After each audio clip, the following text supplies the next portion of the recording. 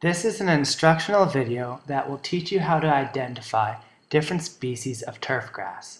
Turfgrass identification is based on five distinctive characteristics, which are vernation, sheath, ligule, auricle, and the leaf blade. Let's start with vernation. Vernation is found at the youngest leaf blade in the shoot where the sheath is either rolled or folded. This is the most important feature to ID correctly.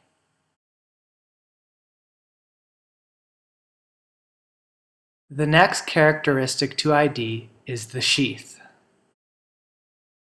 The sheath is the tube-like basal portion of the leaf that encloses the stem. It can be open, closed, or split overlapping.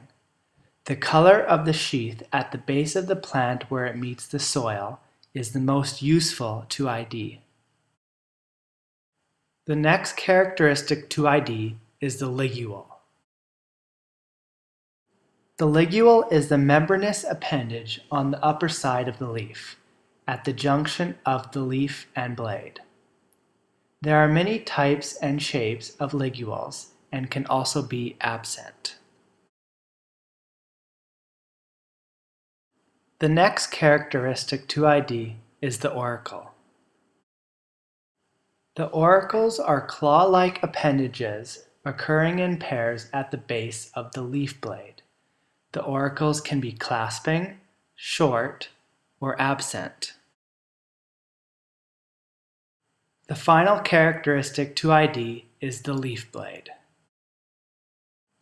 The leaf blade can be parallel or not. The blade tip can be sharp, acute, or boat-shaped. You should also make note of the color and how smooth the leaf blade feels.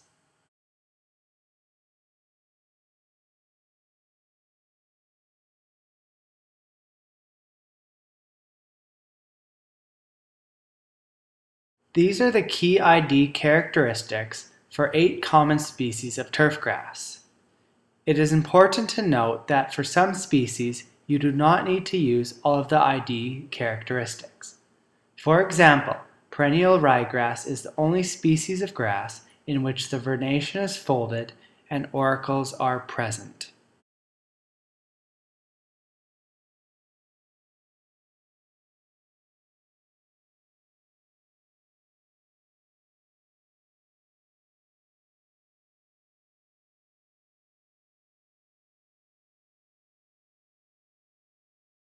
For an example of how to ID a turfgrass, we will use a vegetative ID key to walk through the process with annual bluegrass.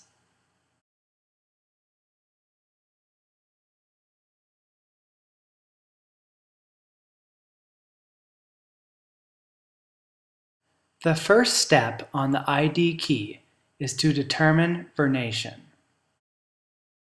By rolling the sheath of annual bluegrass between your fingers, you should be able to feel that it doesn't roll smooth. This should tell you that the vernation is folded. If it was rolled, it would feel like you were rolling a straw between your fingers. The next step is to determine if auricles are present.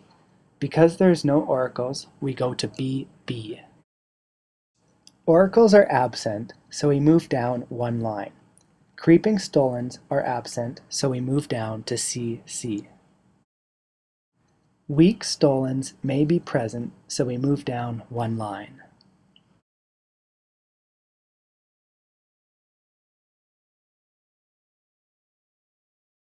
The blades are wide, so we move down to DD.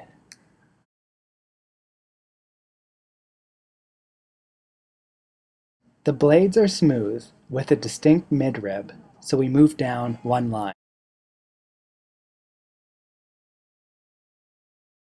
Rhizomes are absent, so we move down one line. There is a tall and white ligule.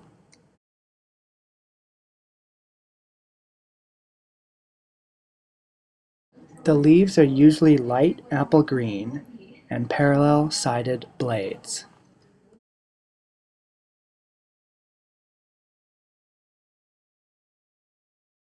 There is often bumps or cross-crinkling on the leaves.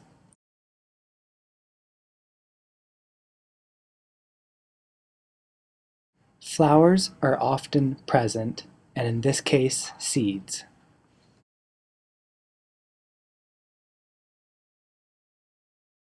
Using the ID key and features of the grass, we are able to identify this as annual bluegrass, or as the Latins say, Poa annua.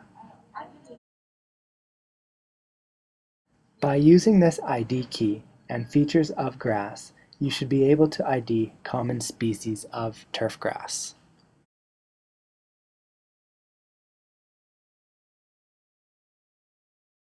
I am Rebecca Gratzky, and I approve this message. I'm Dano, No.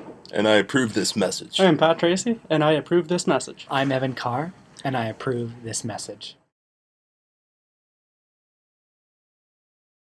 Using the ID key and features of the grass, we are able to ID this as annual bluegrass, Stop. or as the Latins say, Poa an- I'm B. What's that word again? Uh,